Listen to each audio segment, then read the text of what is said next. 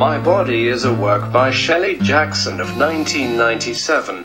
It's a HTML hypertext. The author, who is also an illustrator, starts her work with a map of a naked girl with indicated some parts of the body.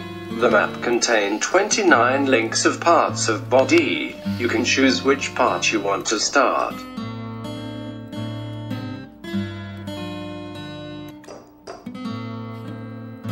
Going deep in the work, you will not meet this map again if you don't go back with your browser button. She writes her life memories about every part.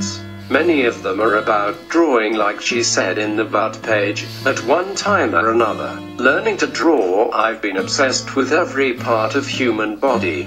She writes about how she learned to draw, how she find the right way to represent a neck, a nose, a breast, from the stylized drawing to the realistic one. Her thought about her childhood, her childhood theories about body and the way that changed growing up.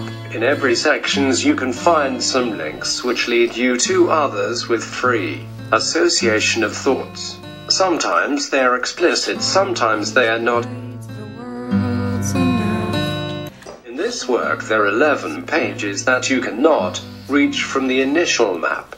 Their theories, back, ties and product, hair, other bodies, phantom limb, erogenous, skeleton, teeth, migraines, cabinet, they have no illustrations and you can't start with them. They are located in the heart of the work. They are about deep memories coming out from the body.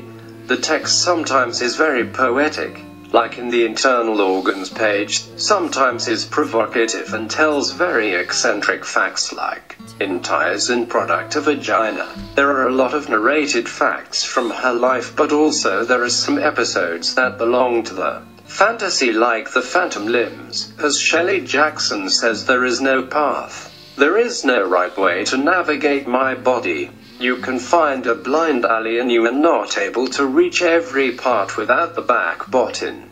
Like she writes in Cabinet of Curiosities, some of the drawers will be large and capacious, some smaller than matchboxes, some will be disguised, some will be booby trapped.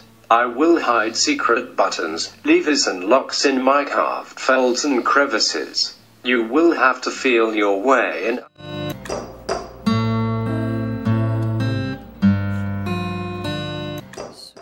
Found this work very interesting.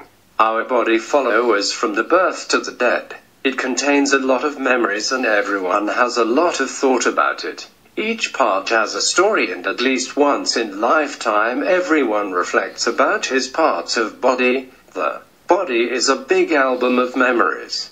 Each one is linked in some way to another. Some of them are practical and well structured in a map, some are hidden in the mind.